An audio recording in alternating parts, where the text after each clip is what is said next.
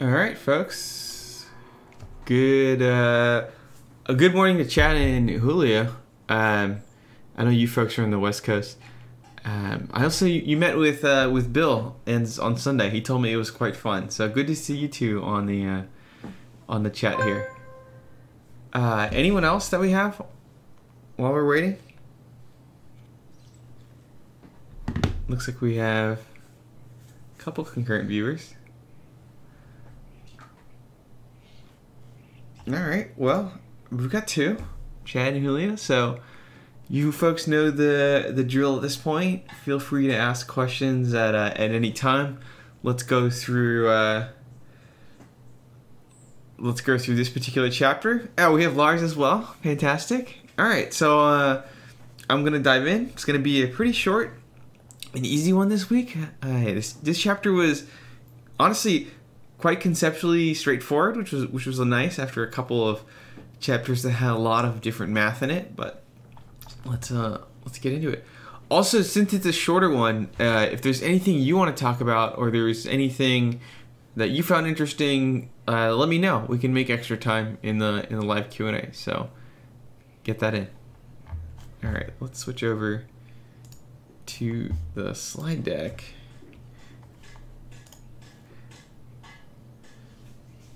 So hopefully there's no discontinuity here. We were we uh, this chapter is about regression, regression discontinuity. Hopefully it's the one all you folks read.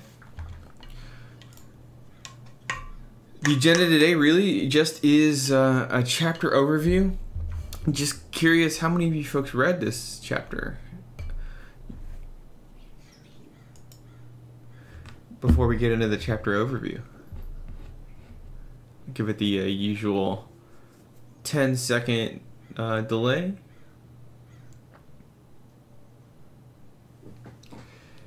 Ambika read three fourths. That counts. Lars read the chapter.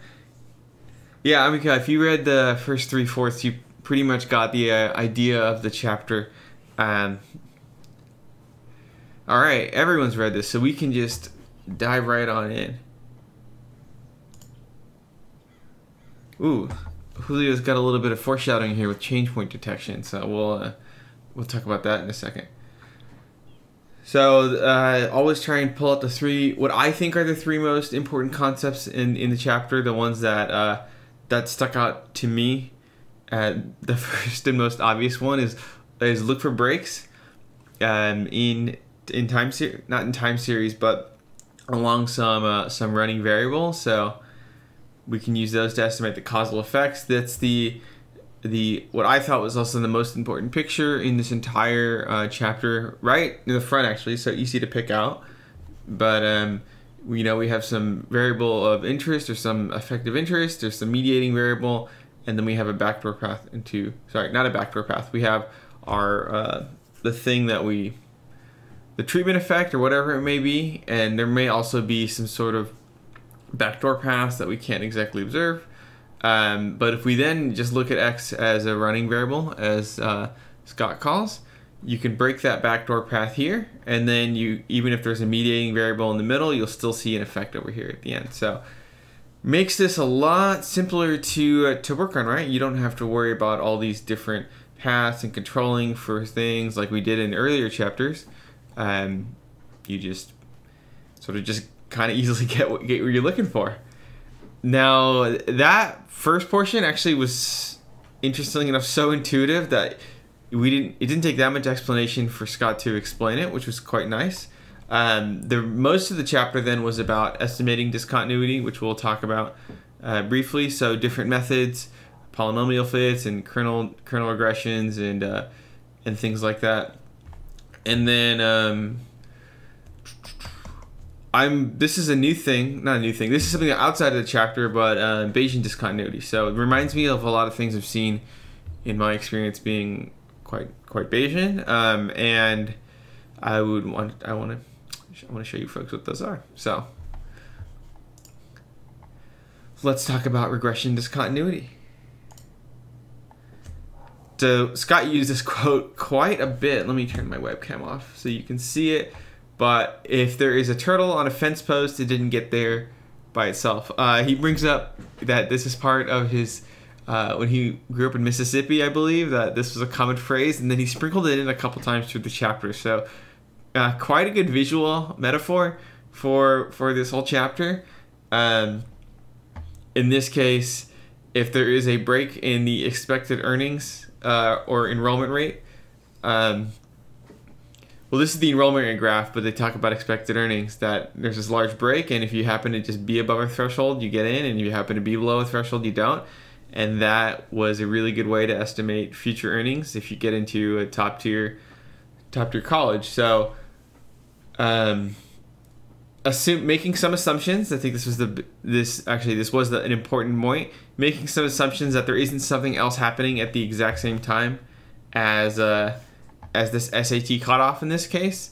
And if there is a big jump, so in this case it looks like, you know, visually there's a pretty big jump, um, we can attribute it to the thing that changed. So in this case, this this jump here is getting into a particular college, and then we can say that college um, helps people earn more money later in life, at least locally. So we'll have a big quote in a second, but at least right around this region, we can say these people would have earned more if they got into college or not. I, a little less explicitly mentioned in the chapter, we can't seem to make the same sort of conclusion about these folks, right?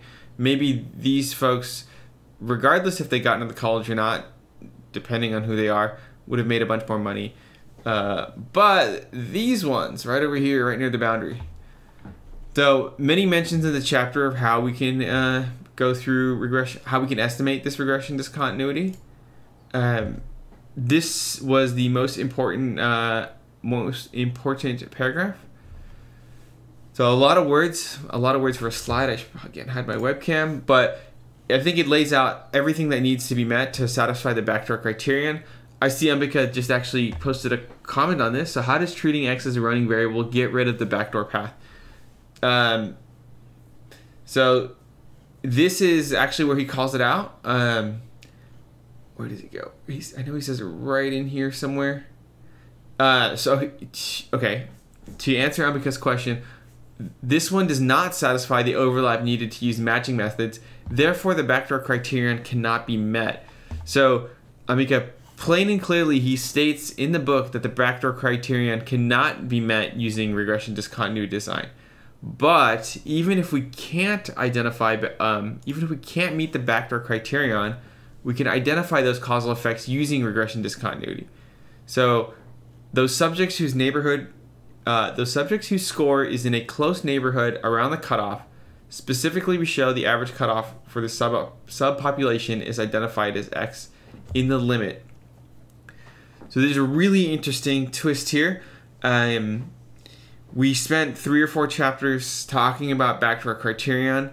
We now have this new method where we say the backdoor criterion cannot be met, but if we make a couple of assumptions and we use um, the limit, um, then we can make a causal inference right next to the cutoff criterion.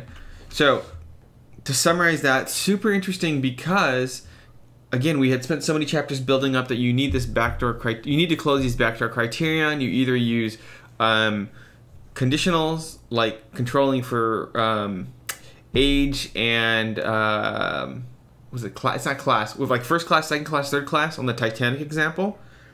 So if you're in the Titanic, whether you died or not depends on, well, largely depend on your age and then uh, and then which um, sort of seat you had in the Titanic itself.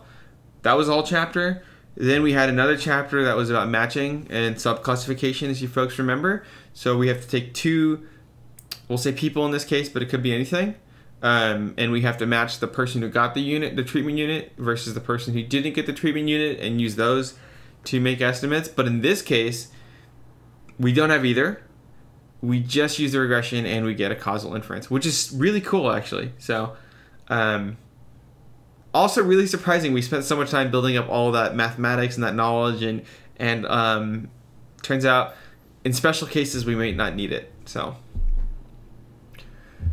really great though actually because i have to say uh, for me this is way more useful for me than in my world than the matching design so uh, if i quickly talk about um, my life at SpaceX, uh, I can't always do match design. You can't always have like one version of a rocket that's one way and one version of a rocket that's another way. There aren't a lot of rockets, um, but we have a lot of these running time series.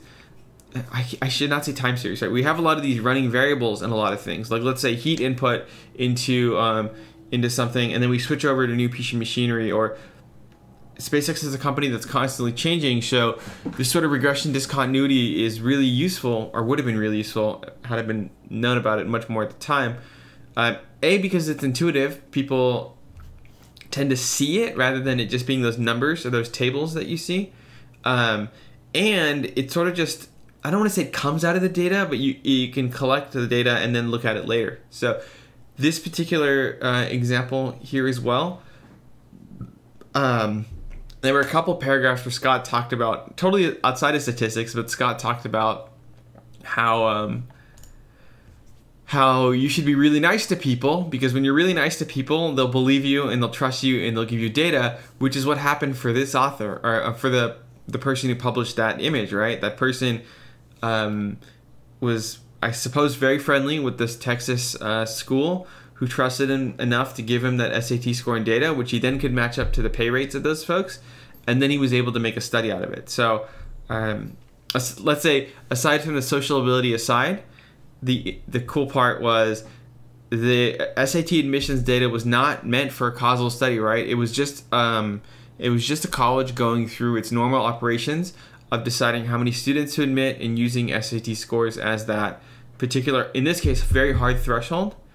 And just by happening to uh, create this hard threshold for an operational necessity for the college, it turns out later somebody could then use that to analyze the um, the efficacy of that college in future future pay rates. So you could think about the same thing happening um, in all sorts of companies, right? Maybe um, I'm not making these examples off the top of my head, but again, when I worked in SpaceX's supply chain, if a certain supplier didn't meet some sort of threshold and we and we treated them differently than another, would that show that we were that there was some uh, some effect on the parts? If I take a more um, if I take a more, I'm gonna make this example from the top of my head. Let's say you run Twitter and you want to see whether accounts that get um, get engagement, uh, whether that's maybe correlated with the verified mark or not. If there's some sort of threshold of whether somebody gets that verified mark or not, like let's say, well, actually, here's a really good example. Given that we're in YouTube, on YouTube you need a thousand subscribers to get a custom URL. So maybe once I hit a thousand subscribers, that being a hard cutoff and I get some custom YouTube URL, does my engagement increase? I don't know, but that's an example of a discontinuity that's built into YouTube's system, um, and maybe that could be used to analyze causal effects. So, really, really neat idea. Uh, that is the. Uh, let's jump back back to our virtual window. That is the crux of this chapter. Now, I'm going to pause here because that's really the largest discussion we're going to have about the core idea of this chapter. Would love to hear what you folks have to think. So Ambika uh, says, it feels like the running variable needs to kind of randomly happen, arbitrarily happen, and not be a conscious decision to actually cause something. So I, I think it's the opposite, actually, Ambika. I think um, that the running variable has to be a hard fixed threshold that doesn't randomly happen, but arbitrarily happen. So not the random part, but the arbitrary happen happen and not be in a conscious decision to actually cause something. So, not random, from what I understand. Definitely, it seems like arbitrary. So, SAT scores was one. Um, drinking age was another one that was brought up. Uh, in America, the drinking age is 20, 21 almost everywhere. Um, and then in other countries, it's 18. So that meets the definition of arbitrary. Um, and the last part you said is not a conscious decision actually causes something. So this was another point. It's not uh, that it's not. I use this word really badly, so I'm probably going to say it wrong. But not endogenous, right? So there wasn't a person who was sorting each one of these people individually and saying this person goes here and this person goes there. But more so, there was a really hard cutoff that if they didn't make it, that they would automatically be rejected, and if they did make it, they might be accepted. So that's the uh, conscious decision, I think, to set an arbitrary threshold, but not a conscious decision to sort um, people into one group or another.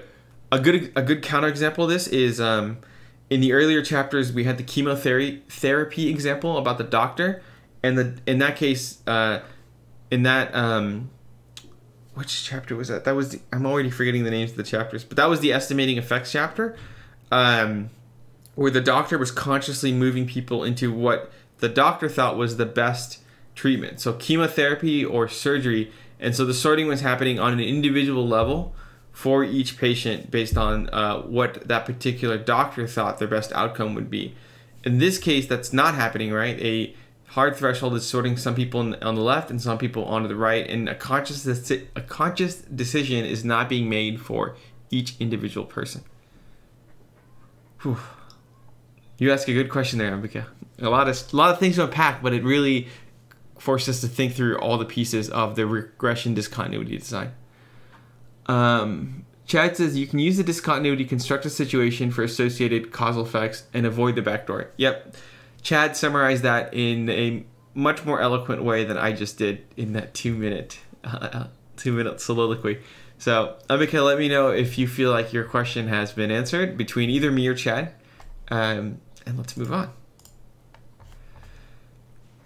So, the establishment of the regression discontinuity, discontinuity design uh, it was pretty straightforward. I Scott brought that up right at the beginning. Um, it didn't take a lot of math like earlier chapters to talk through, right? We didn't have to go through all these derivations about randomization inference or um, or the backdoor paths, for instance, or the biases on average treatment effect, like uh, parallel path bias or the or the other one.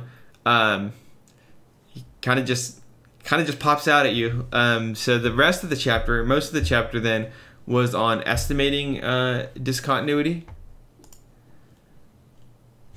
So I'm not going to go into every version of estimating discontinuity because they were just they were listed out in the chapters, and I'd say maybe they're more like fundamental math. But um, there were things like: Do you use linear regression? Do you use local um, effects regression? Do you use um, do you use do you use polynomial regression? Do you use kernel density estimates? So um, a lot there was a lot of discussion on that. Whoops in the chapter, um, we had a discussion about that in our uh, in our discourse community. So Neil answered, you know, different functional forms give functional different answers.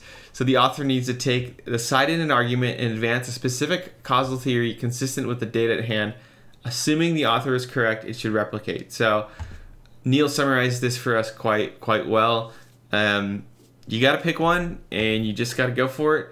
Um, justify why you did it, and ideally, if it was good, I. If you thought about it well and it was a good justification and it matches up with the underlying, um, not even the underlying model of the world because the model is something constructed by us, but the underlying phenomena of the world, then it would replicate in future studies. Uh, that's what a lot of this chapter was uh, was about. Um, so doesn't seem like there's a, an agreed upon way that works for everybody. You really just gotta uh, gotta get experience and make a good justification. Uh, for me, which was exciting, there was a reference to Andrew Gelman. So for those who don't know, Andrew Gelman is um, a very prominent Bayesian statistician. He really leads the field um, in many in many ways. So anytime he writes something, I'm quite interested to see what he has to say. Uh, but he talks about how he has a paper on how higher level polynomials lead to overfitting, and Gelman recommends using local linear regression. And then it's kind of funny because in the next sentence, Scott says, "Well, Gelman warns us about higher no, higher order polynomials, but I'm going to use one anyway because it's not uncommon." So you could see how even between the experts in these fields, and you know, Gelman, who's a very very accomplished um, uh, researcher and has, has produced many. He's really, really good statistician. And then you have Scott Cunningham, who also is a really, really good econometrician and and really great at these uh, um, understanding these methods and explaining them using them. And even they disagree within the span of like 30 words, like three sentences. And we're like, well, one guy says this, one other guy says that. So yeah, you just gotta, well, think you just have to uh, you know stick your stake in the ground about what you're going to do when you're going to do regression discontinuity design and um, and make a just make a strong claim. Uh, one thing they talked about quite a bit in the chapter, which I was excited about, is this thing called kernels. Um, so this isn't the this isn't a kernel like a Linux kernel or a kernel like a um, linear algebra kernel, but it's something that gets used all over the place. And shameless plug, it's something that we're talking about a ton in the Gaussian process course that I'm currently building. Um, so I was quite thrilled to see that come up again. This is what a kernel is. I I don't recall there being the um, recall there being a strong discussion of it in the book, other than it was mentioned as something that could be used. But essentially, what you do is you you can essentially run a regression using this formula here. Ignore the one at the bottom because that's a Gaussian function, but you end up with um, all your data points, your x point of interest, uh, and length scale. And when you do that, let's say you want to estimate what the the point should be here. Um, this being in this case a continuous function uh, you have this blue estimate comes from weight, weighting all these other data points that you've seen, this being the Mauna Loa um, data set from the Keeling curve. And then if you plug this into, if you if you get the weights from the previous formula that we see here, and then you sum up the weights, you'll end up with this particular point right here. Um, this blue curve that looks like a Gaussian is not a Gaussian. What it is, is it's the relative weight you apply to each um, adjacent data point. So the points that are very far away get very little weight. So these two get very little weight. The points that are really close get more weight. So this point actually is really close, so it gets the most weight. This point over here is a little bit farther away, so it gets a little bit less weight, but it still gets more than this point over here, which is really far away and gets very little weight. So this is the uh, kernel estimate for a single point. If you if you now take this and you apply it to every point, you end up getting this uh, this blue line. So we um, don't need to make strong uh, functional form arguments like a linear regression or any like a straight linear regression or polynomial fit or something like that. Um, but you instead just get, in this case, a smooth fit. Now, in the regression discontinuity chapter, and I guess I should have posted an example. I will I will do one. I'll do one after this, um, and post it in the discourse. But if there was a strong change, like let's say the CO2 levels just jumped a whole bunch, in this case, CO2 parts per million, um, the kernel density estimate would also then jump because it's not stuck to a functional form, but it's using the local data points to weight itself. So just use your imagination here a little bit. Um, but if these points suddenly shifted up, right? If there was some some big event, then we would see a big uh, a big jump like that. So that's what kernel kernel weighting is. Um, it was a very quick explanation of kernel weighting. Uh, so hopefully that was a little, a little, that wasn't too much of a jump in terms of, our, of our understanding. So again, any comments about um, estimating regression discontinuity?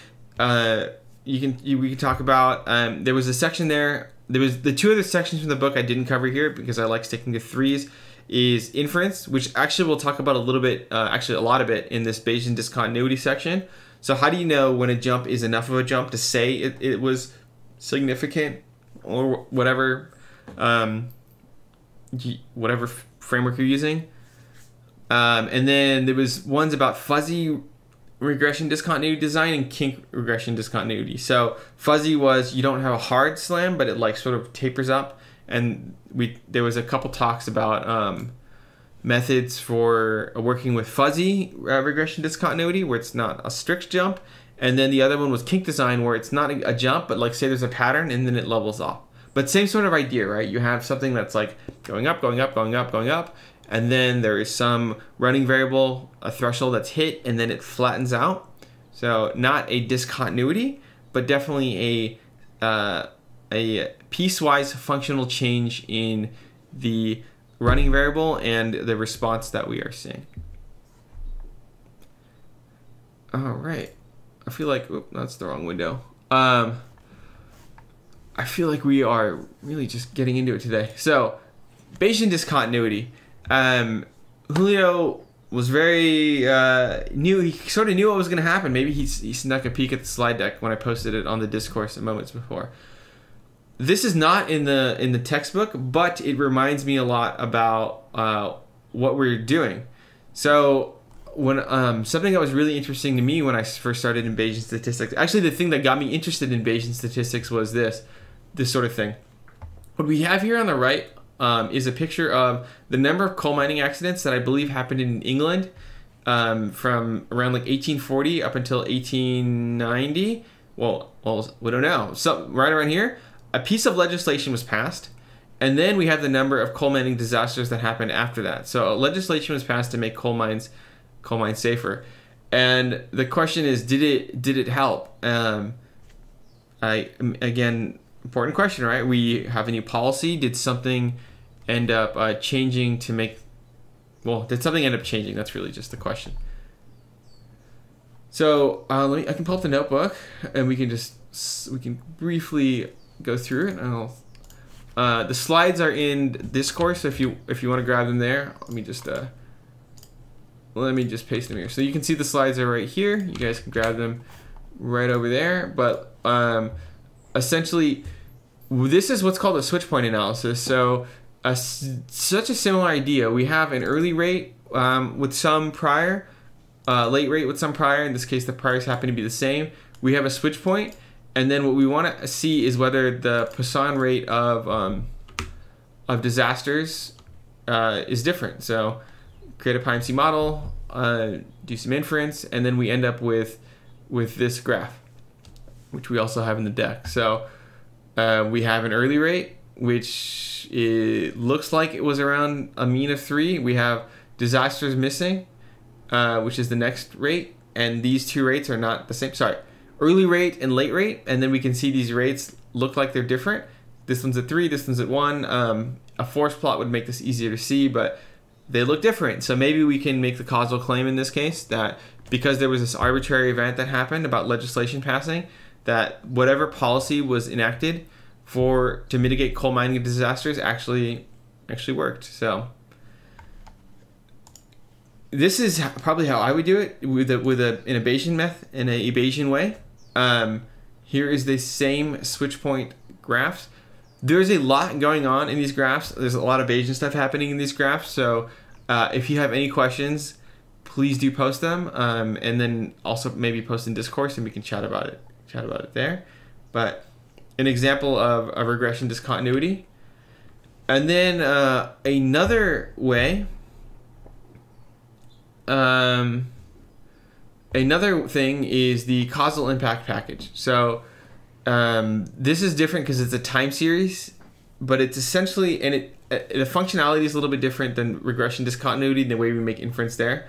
But this causal impacts package was written uh, in R. There's a version in Python now as well. But it's if a certain event happened and we see a discontinuity in our time series, um, can we make the effect?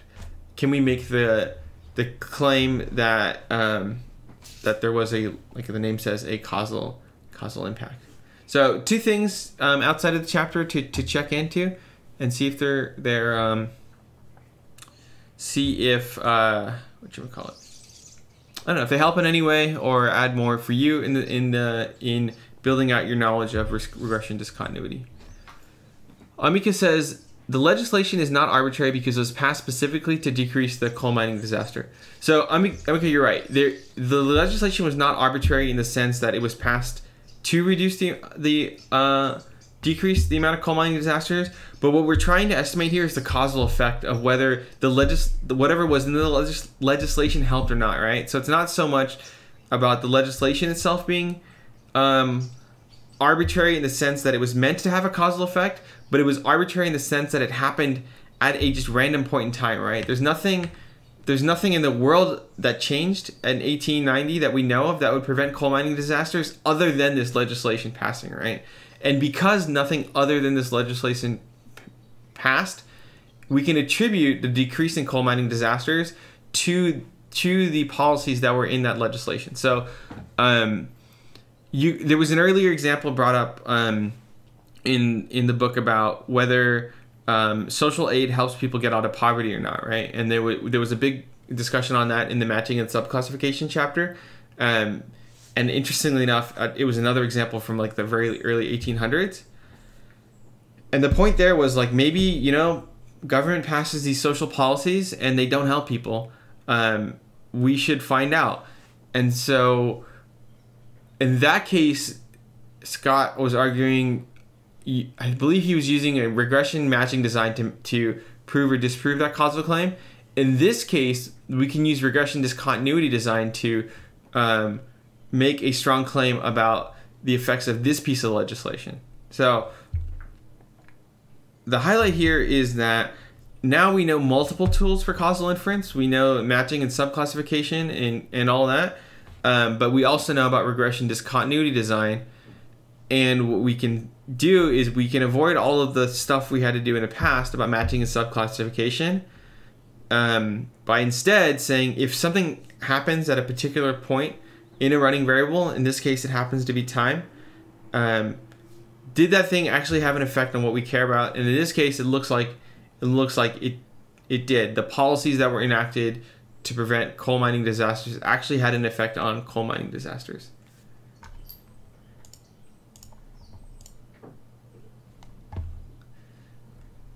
So to close out regression discontinuity design, uh, this is this to me again was the most important most important quote. It's a little wordy, but I'll read through it.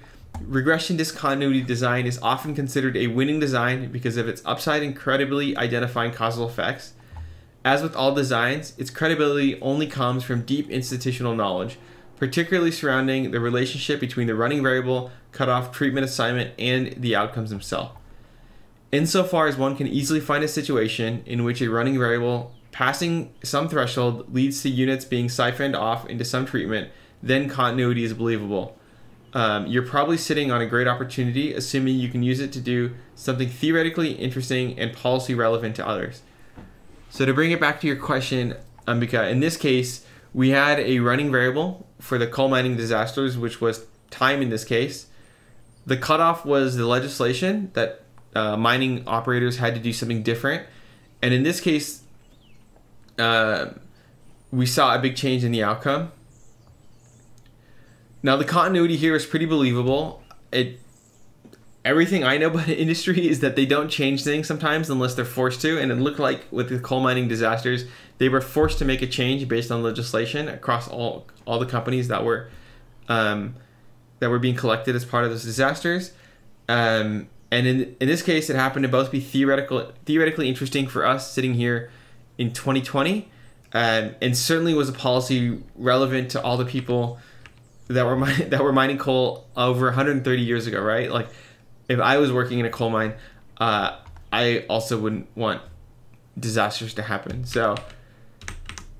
I just thought the coal mining disaster was a particularly cool um, example from both a different um, well, not in the book. So in in my PyMC uh, PyMC world, um, but also interesting for my work in uh, industry. Uh, we always in industry, whether when I was working at the oil tools company or SpaceX or even Sweetgreen or these these organizations, we want people to to be safe and not get hurt. And an analysis like this is is a really interesting way to say if we enact a new policy within the organization. Like let's we enact a new food safety standard or we enact a new um, what's called PPE, personal protective equipment, like like uh, glasses or uh, face shields or gloves.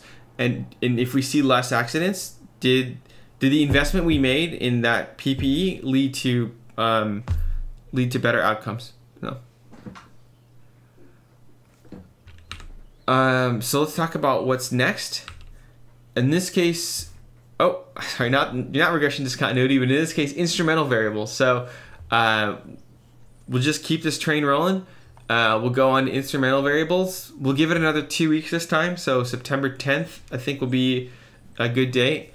Um, that's a normal thing. The second question I have though is, do you guys want more causal casual chats or casual causal chats? So last week uh, we did um, we did something new. I had Dimitri on as a guest. And so if you folks like that, if that was an interesting part of this book club, let me know. I'll get more guests on.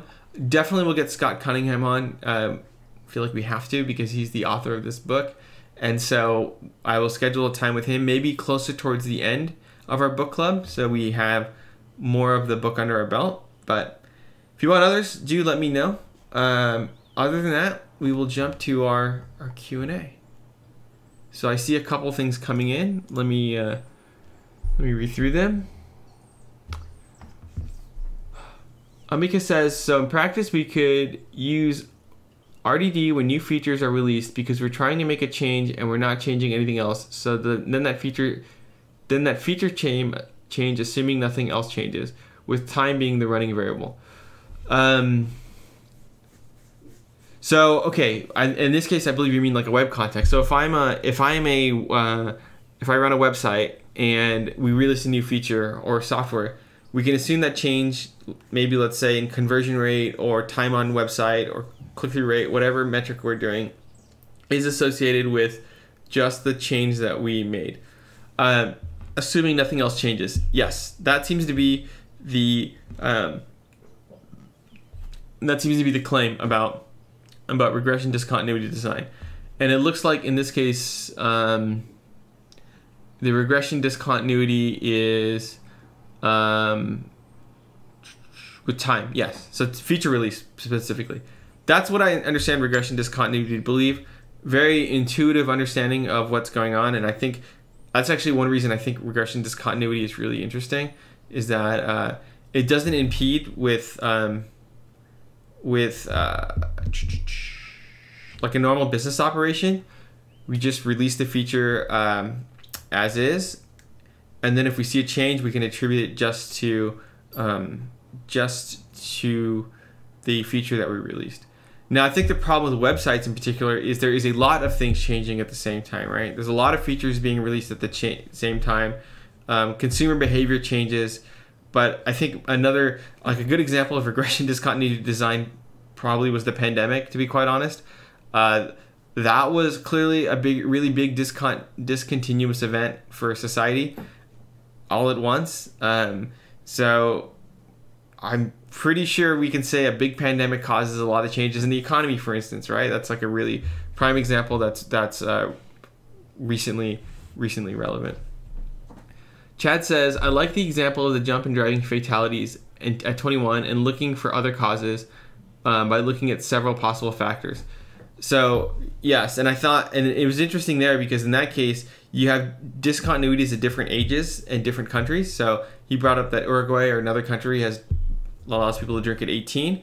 So, uh, in this case, we could be sure that age wasn't a factor because, well, we can safely make the assumptions that humans grow and progress at the same rate whether they're standing in America or they're sta- in the United States or whether they're standing in Brazil or some other country. Um, and in that case, we sort of get both a regression discontinuity design and a matching design um, because we can see if the drunk driving or accident rate, I believe, changed um, in different countries at that discontinuous point of when people were allowed to legally purchase alcohol. Um, Julio says the 10th is a Saturday. Uh, whoops, that is definitely a mistake. Um, let me see. Let me flip a calendar here. Uh, if the 10th is a Saturday, we don't want to do it on that date. We do want to do it on. It's really hard to find a calendar. Um, all right, I will post in the discourse, um, but um, we want it to be the next. We want it to be the, that's that's Sunday. Um, so I will change that to the 11th. The book cl- next book club will be on the 11th. Sorry for messing up that date. Uh, there may also be a lag for some changes. So I I would agree I th- that some changes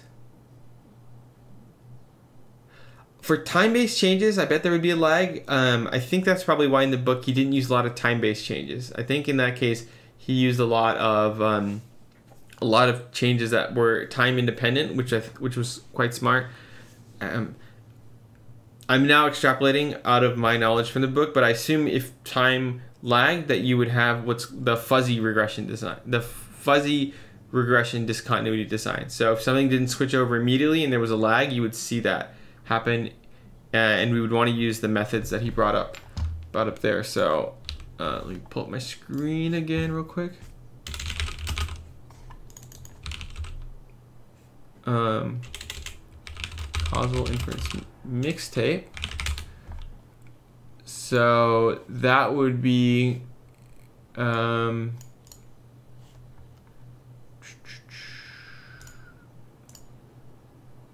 um, what was it? All right, fuzzy RDD design. So Julio, here's here's what I um, what I'd assume what we would do, right? If, if something was leading up, if something was gonna like, going to come into place, and then it took a lag, we would have that sort of design. So he talks about Medicare enrollment. That's actually a good example um, because I know you can enroll in Medicare a little bit earlier, later than 65. Lars says, interesting, Chad. In Germany would be difficult because you can pretty much drink before you are allowed to drive. Yeah, so Lars, maybe to Scott's point um, about the drinking example, which we can actually just bring up. Um, which countries? It's really hard to read. Um, all right, I'm gonna stop trying to zoom in. But I think this is the this is sort of the point Scott is is making. It seems like we can we can sort of he doesn't explicitly say it if I remember correctly. I'm stretching my memory here a little bit. Uh, but he, he essentially seems to be saying that you can use uh, the age as a running variable, and then you can use another country as a control. In this case, he used he used Uruguay. So maybe Germany would be a poor control, like you said, because you can drink you can drink wherever, so there wouldn't be a um, a discontinuity like we have in the United States. But in this case, he decides to use Uruguay because they do have a discontinuity at 18, and so if you see the same effect happen at the same time, then maybe we can assume the uh, the two are um, that the legal drinking age has a causal effect on the number of, fatalities. Now, the the counter argument I make to that is I wonder if the drinking culture and the driving culture is different between the two countries, right? So maybe in Uruguay kids can't afford cars, so they just don't have cars. So you don't see that effect because they're not getting into drunk driving accidents. Um, or maybe, or maybe the only United States we have kids that just get turned 21 and just get blind drunk and then and then start driving. Those are the parts that I th- he um, to Ambika's point earlier. Um, there may be other backdoor paths that we didn't necessarily close. We don't have the world where you have someone who's uh, who's 18. well, we don't have the thing in America where half the kids who turn 18 can dr- drink and half the kids who can turn 21 can drink. So then you have this perfectly matched design. But um, but it seems like we can plausibly get our way around it using regression discontinuity design in different different countries. Chad also says a lot of people graduate from college around the age of 21 in the United States. I'll, I'll tell you that uh, I'm not saying this because I'm particularly proud or any way of saying this, but I just want to point out that Chad Chad brings out as an alternate possible cause. Yeah, that I could have I was able to buy one of my first cars once I graduated and had a job, and I also then uh, could afford alcohol and to go to bars because I also had a job. So uh, a good way, Chad, of, of you know pointing out two backdoors, at least in my personal life, that like I turned 21 and I happened to also then get money and a job. So those could be different factors in that I was driving more. I was driving much, much more because um, because I had a car and I needed to drive to a job. So maybe I got in. I could get in. Actually, I got into more accidents after I graduated college because I was driving every day to work rather than just walking to college. Um, than uh, than than I did when I was in college. So yeah, it's uh, it seems like these methods, this method in particular, requires you to do a lot of explaining of why, like the quote unquote turtle got under the fence post more than previous des- previous designs.